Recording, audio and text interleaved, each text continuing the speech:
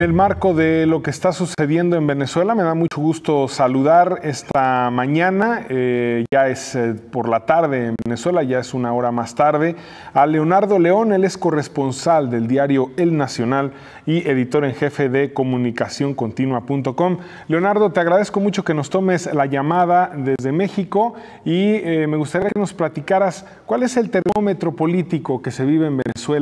después de la reelección y de la toma de protesta de Nicolás Maduro? Bueno, buena mañana para ustedes, buenas tardes ya acá en Venezuela, pasadas las 12 del mediodía. Si en efecto escuchaba la nota de prensa leída por la colega anteriormente, y luego de la alocución del señor presidente de la República, Nicolás Maduro, ayer ante la Asamblea Nacional Constituyente, hay expectativas. Primeramente, la noticia que ha marcado luego de los anuncios hechos por el primer mandatario hace referencia a la situación de los presos políticos. En el caso del estado de Zulia, eh, estado ubicado a 600 kilómetros al oeste de Venezuela, allí eh, se conoció, los cuatro primeros liberados eh, hace algunas horas.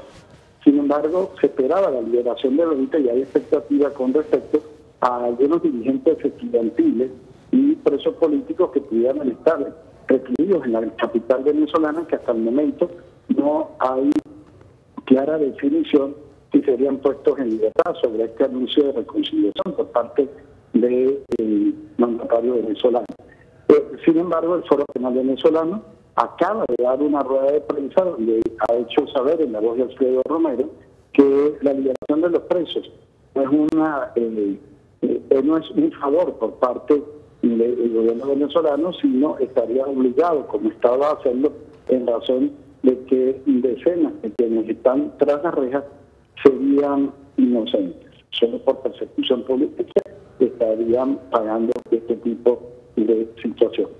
También en materia económica no ha habido la reacción que se esperaba por parte del sector empresarial, no ha fijado ningún tipo de posición,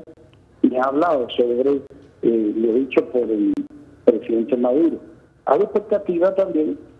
con respecto a lo que puede ser los nuevos eh, anuncios, luego de el tener que hacer las cosas bien. Y eh, se esperaría el nombramiento en todo caso de un nuevo gabinete. Sin embargo, la oposición en, la vocería de algunos diputados ha reaccionado contra esta postura, eh, diciendo que va a ser más de lo mismo, que se parecerá a la gestión y que es un enrosque político de quienes han ocupado algunos cargos. Vemos que después del proceso eleccionario, también hay que decirlo, la oposición venezolana no ha tenido una postura contundente en torno a lo que pueda decir una agenda postelectoral. Eh, es importante destacar, y para nadie es un secreto, que hay molestia porque hay una gran cantidad de diputados fuera del país,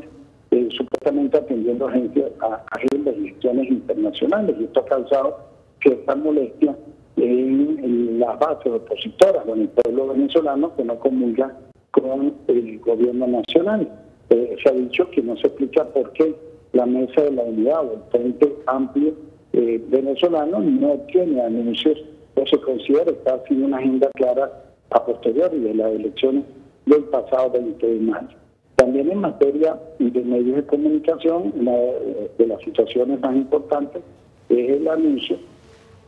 por parte de la Comisión Nacional de Telecomunicaciones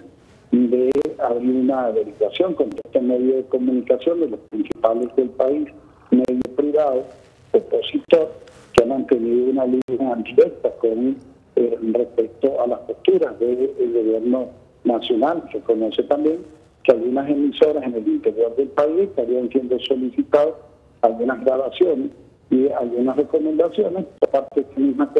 de esta misma Emisión Nacional de Telecomunicaciones para saber las posturas a la, en cuanto a las programaciones en el contexto electoral. Pero se le todo esto, mi querido Arella, es verdad que hay una situación bastante compleja que tiene que ver con anuncios hechos desde el pasado miércoles por todas las universidades venezolanas en lo que respecta a las que son con carácter autónomo. La FAPU, que es la Federación de Asociación de Profesores Universitarios de Venezuela, ha sostenido eh, posturas bastante contundentes donde se anunciaría ya para las próximas horas prácticamente un paro nacional de las universidades autónomas en razón de que los docentes universitarios, los empleados que son técnicos y además especializados, así como los obreros, en el caso de los profesores, estarían ganando escasamente 3 dólares en lo que respecta a la conversión de la moneda venezolana con una referencia internacional, lo que estaría obligando a cesar en eh, sus actividades académicas. A esto se le suma, en el caso de las universidades de provincia, la eh, diáspora que ha habido abandono no solo de profesores que han preferido tomar, hacer cualquier otro tipo de trabajo y abandonar sus cargos